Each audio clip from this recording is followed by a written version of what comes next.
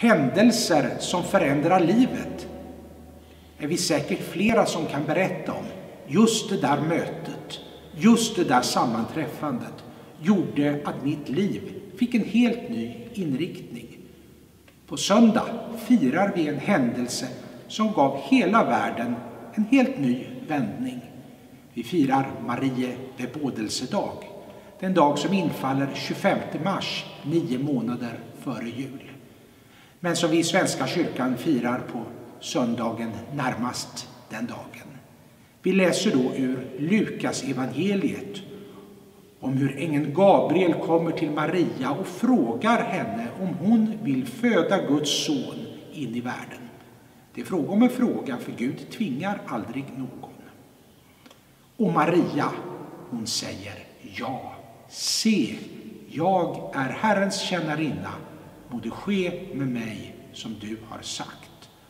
Och genom Marias ja så öppnas himlen och Guds son träder in i världen.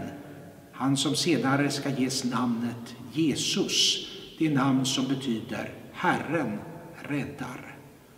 Och Jesus kommer till denna värld som vänt sig bort från Gud för att leda den hem igen, hem till Gud. Moder Teresa i Calcutta poängterade Marias avgörande roll i frälsningsverket med orden No Mary, no Jesus. Utan Maria blir det ingen Jesus. Också om Maria gäller att kärt barn har många namn.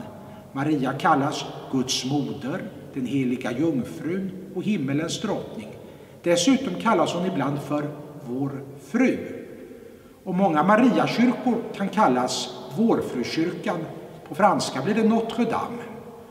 Och Marie bebådelsedag kallas ibland för Vårfrudagen.